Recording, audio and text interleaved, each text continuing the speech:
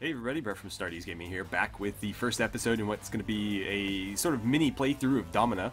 Um, we've covered this game already on the channel uh, as, as, sort of like a first look type deal, but uh, with the game releasing today, um, tomorrow for me, but today for you guys, I figured we would do a, a little playthrough because the game is finite in length. Um, you play for a certain amount of time, and once you hit the end, um, either you succeed and you go on to like the final sort of battle, or you fail and you start over. But it's it is finite. It's meant to be played over and over again, and so I figured I would uh, do a couple of episodes for you guys for the first week of release, and I think it'd be a lot of fun. I'm really enjoying the game. I've played it a little bit in my own time and have had a blast with it. Still no save function, however, so I'm going to be sort of marathoning through this. Um, I'm hoping I can figure out a way to uh, basically finish this in one shot because uh, if I can't, then that's the end of that. But hopefully uh, I can get through it. I think I have to make it through like 225 days or something, so I guess we should probably get started. Uh, let's go ahead and jump in. So, as I said, I've been playing this in my own time, and I'm uh, pretty familiar with the game at this point. So the first thing we want to do is head right to the Doctore, enable auto training so I don't have to sit there and click on stuff. And then we are going to want to immediately start researching humility, followed by mind control. Mind control will let us uh, control the gladiators ourselves. And this is really important because certain classes are really, really good in the hands of AI, and others are really bad in the hands of AI. Particularly, um, I've found that the Retiarius, if we're just talking in terms of AI versus AI, is probably the best class in the game. Um, most of the other classes, well, I say most, there's only three classes. The other classes um, don't deal very well with their um, reach advantage. And if you don't have, um, say, polearm defense researched, and you do an AI versus an AI fight, you're probably going to lose unless you have a Retiarius against um, against the other ready Retiarius. However, to basically unlock a ready Retiarius, you have to have that. So, um, yeah, definitely want mind control as early as possible. And then in terms of hiring people, there's really two guys that you absolutely need, and the other one doesn't really matter. You can kind of pick whatever you like. But the two that you absolutely need the first is the architect. He's going to allow you to build upgrades and stuff. You really, really need this guy. So you're going to hire him right out of the gate. And then the second guy that you absolutely need is the agent. And he's actually very, very cheap, but he is probably the best of the employees that you can hire. And so here's why he's so good. Oh, it changed the order on me. So the agent can do a couple of things for you. His stealth meter basically indicates like how likely he is to be spotted. So you're gonna kind of have to be careful if you're spamming him out on jobs. Eventually, he can get caught and you'll get in trouble for it. So basically, whenever it seems like he might get caught, just let him lay low for a little bit and then send him back out. But what he can do is he can steal upgrades for you, which is really, really nice and doesn't cost you anything. Or he can spy on the legate and the magistrate. That's these two guys down here. And when he comes back with secrets on them, you can sell them to the other guy. And so what this does is so long as you don't get caught, you can pretty much upgrade your influence with these two guys for free. Uh, it's really, really useful, and I'll start doing it right now so you can see. We're going to spy on the Legate. And again, as long as he doesn't get caught, we don't take a penalty for this. Uh, looks like we already have a fight. I don't know if we're ready for this yet. Um, let's let's compare stats, but I don't I don't think that he's quite on par with this guy. He's a higher level, he's got more health. Um, his gear is slightly worse, but his weapon is better. I should have, had I known we were going to be fighting so early, I would have upgraded his weapon to a Gladius. We could potentially win this though. I'm going to send him in, we'll see what happens. This guy is not an ideal character anyways. If he dies, it's really not the end of the world. And I don't want to piss anybody off this early, so... We'll send him out there, we'll see what happens. His armor and his shield are better, and they have the same weapon, so... This guy's just got a little bit of an advantage as far as uh, level goes. Um, looks like we're hitting him a little bit harder. But he does have more health, so we're going to be in trouble here. He's surrendered, so we're going to have a chance to save him by spamming out these clicks here. And it looks like I'm going to get it. Basically, you just click left and right mouse as quickly as you can. So he's not going to level up because he lost, but at least he didn't die. Um, oh, he was confiscated some of his gear, though. Interesting. So we need to immediately get him up to a Gladius at least, and then we'll rebuy that shield for him. And I'm going to give him a little bit of wine, just so he's not so upset. And we'll get him healed. Okay, so next thing we need to do is with the architect, we need to start building these palaces because uh, they'll let us train weapon skill faster. And so I usually do the first row here and then work on the second and then the third. But I like to get like, I like to use the different rows as, oh cool, he's discovered a secret. So we're going to send him to spy on the magistrate now, and we're going to talk to the magistrate and sell him the secrets that the legate had. And so we'll get some gold for this, and he'll like us a little bit. And so you just alternate back and forth. And you get relations with them, you get money out of it, and it doesn't cost you a thing. You just have to be a little bit patient. Works really, really well, actually. Um, we'll keep building those. Should also focus on buying... Basically, you want to just buy everything that's here all the time. So, buy all the food. It's one gold for each, for basically like 35 to 40 of each. So you just spam it out, buy everything that's there, wait for it to replenish. Um, how are you doing? Let's research mind control. Did we get any cards? Let's see, weapon training speed. I don't know if I want to give that to anybody yet. Because neither of these guys is like an ideal gladiator. Basically, what I like to do is you've got essentially three tiers. Wow, he's quick. Let's uh, sell that secret. And I think he's going to have to lay low for a little bit. Yeah, yeah. Recognize if seen again, so we're going to just let him relax for a little. But you've got three tiers. So one, two, three. Um, the first tier are like my active fighters, the guys that are, you know, getting out there on a regular basis. They've got good gear. The middle tier are guys that I'm sort of working on, and then the the bottom tier, the ones closest to the bottom of the screen, are the ones that uh, are sort of like just basic, like they don't have any gear yet. I don't know if I'm going to turn them into gladiators, but they might have potential, basically. So you're not healed yet. Um, you're actually a pretty solid character. You're a higher level even, so let's see how you stack up. He's, let's see, 8, 8, and 3. So 19 in total. Uh, you are 10 in total. He's got a pretty good advantage on you, but you hit harder. And I think your armor is better? It is. So I say we go for it.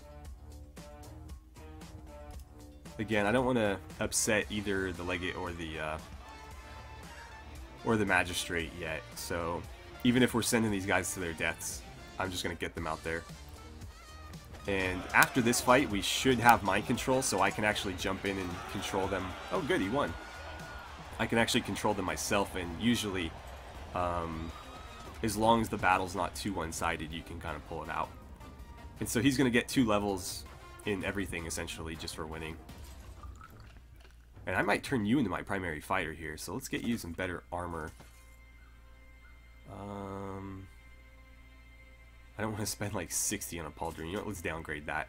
I'll give you a better helmet instead. And we'll bump these up a little bit.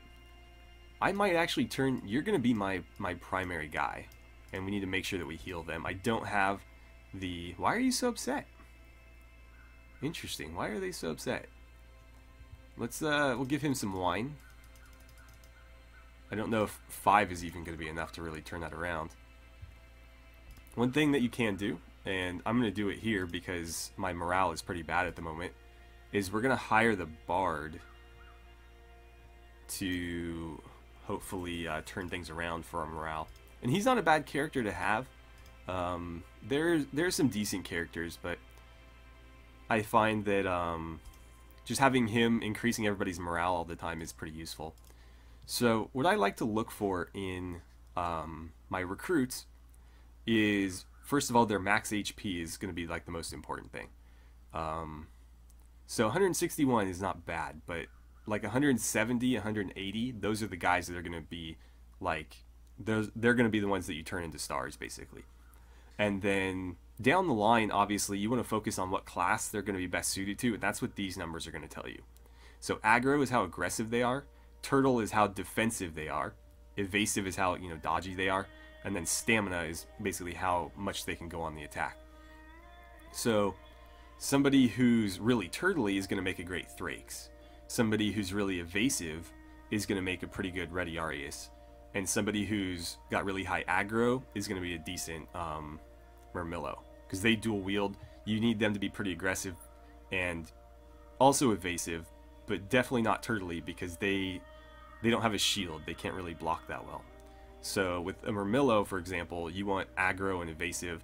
Any any number in turtling is going to be bad.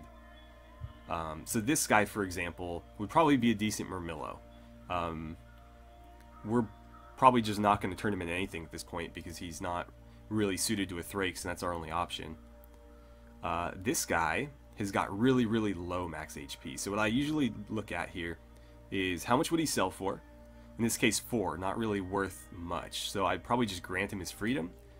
He'll thank us, and that should boost everybody's morale by a decent chunk. Yeah, so everybody's happy now. Uh, the Bard's also helping with that, but everybody likes me a little bit because I'm freeing uh, slaves. And so this guy, I think we'll get him equipped. He's not very good, um, but might just be cannon fodder, you know. So we'll turn them into a Thrakes. Usually, what I'll do is I'll get them like one, one, basically just like super basic gear, so they have something. If you throw them into a fight and they don't have a sword, at least like some type of weapon, they'll basically just run away and cower in the corner if you give them even the most basic gear, they will fight. So if you have to throw in like four or five guys in a single fight, at least give them some sort of weapon so that they actually participate. Otherwise, they'll just run and hide. You'll lose crowd favor, and they'll just die. So let's see, four, six, and eight. Um, let's see, Virginius or Interesting that he overtook him so quickly. Unless he started at a higher level, but I didn't think he did. Um, let's see how you stack up in terms of damage. Actually, I can control him, so it may not matter. 20, 45. You're going to hit way harder than he is, so we're going to roll with you. And I'm actually going to control this one. So typically, I like to sort of, uh, you know, kind of probe in and out, let them swing a couple times, kind of back off. Oh, he got me there. But yeah, so once you're controlling yourself, you can win a lot of these battles just by, you know, fighting intelligently. And we need to start um, allocating these cards.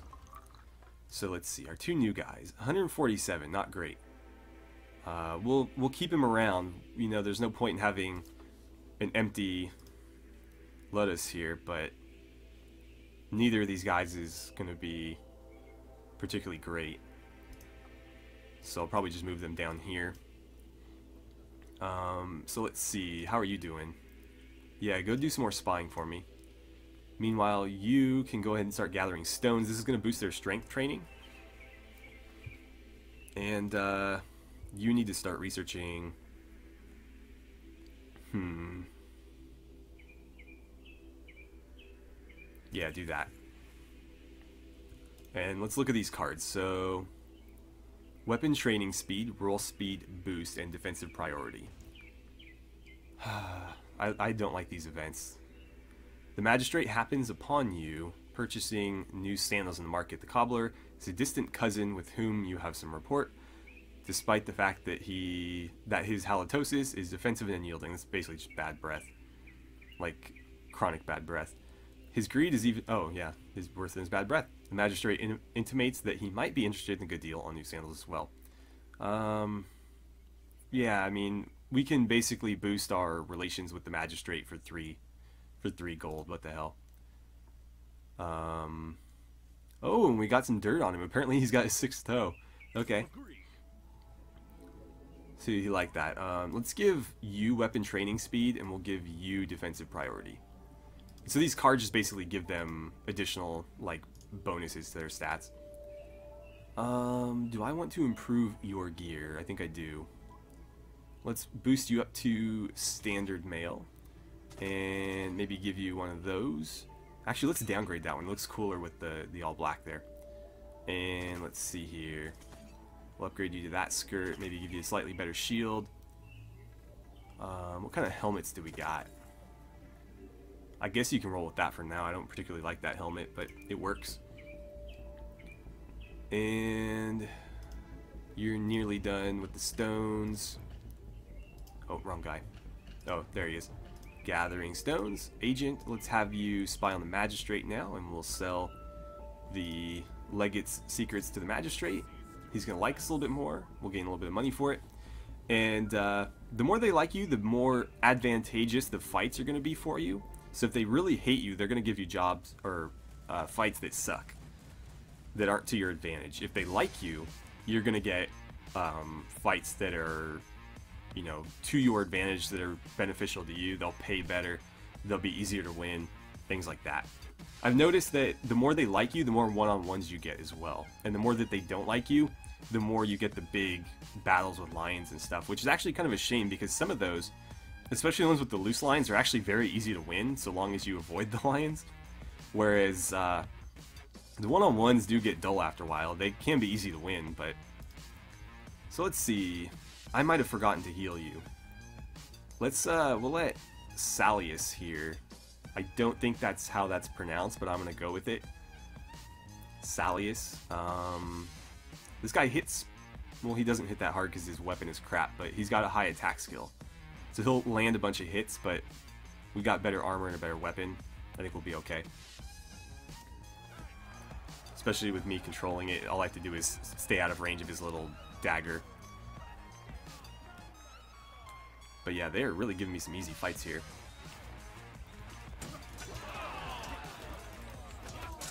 Oh, yeah, he hits quick. There we go. Not so quick without a arm, though. So hopefully these guys are going to be a little bit better.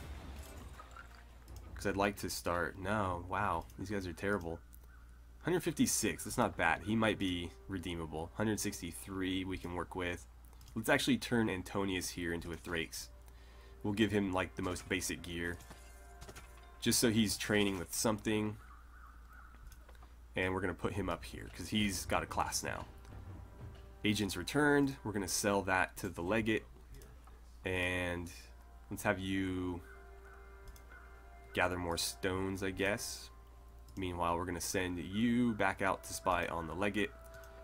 Doctore, I want you to work on probably...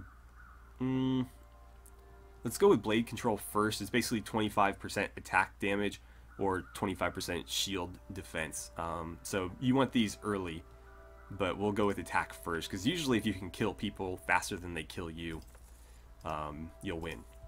And we need to heal these guys obviously so they aren't like bleeding out when they fight. I think you earned yourself an upgrade there as well. Something like that looks good to me. Looks a bit like a like a Roman centurion with all that gear on. Uh, okay, do we get any other cards? Maybe it was rolled speed, roll speed boost. I'll probably give that to one of the more, you know, like nimble classes. So we're actually, I think it's 365 days now. I think it was shorter before. You guys are almost done. Um, okay, let's sell that to the magistrate and then we will you can always give them wine too but the thing about wine is that it decreases in effectiveness so the first time you give them wine for example you give them one then you have to give them two and then four and then eight and so eventually you'll have to give them so much wine that it just becomes impossible to keep up with and I keep forgetting to keep up with my food and water as well you can also attend pit fights in here. Um, they increase in the same manner, so The first time you pay one, then two, and then it just keeps going and going and going. Um, and the difficulty keeps increasing on these as well. You can, however, turn these fights down for no penalty. So it might be worth it if you want to get a guy into a couple fights, get him blooded, um, you know, spend the gold, see if it's worth doing. If not, you just decline it, or maybe send somebody else in to fight it. I'm gonna pass for now though, because these guys are still kind of getting patched up. Um, next battle's in a day, so nothing really for us to do here. I might turn this one down. The, none of these guys are particularly good. Well, actually, some of them are half decent. Yeah, that guy's actually really good. Um, yeah, I don't like this one. The thing about these big fights is they're not that difficult to win, but if you put six guys in there, you're going to lose at least like three of them. The AI is just not that good at handling these these types of situations. And so like the lesser fighters that you put in there are going to die. And so the only time I like accepting these if you have a couple of guys that are way way better than anything that they've got on the field here, so like two or three really elite gladiators that just completely outclass these guys, just roll with them and wipe everybody out. You'll get way more experience and better rewards for it. And you're actually a lot less likely to lose somebody because you're you've got these super elite guys tearing through poor gladiators rather than bad gladiators against bad gladiators and, you know, it being a toss up. So we're going to reject that one.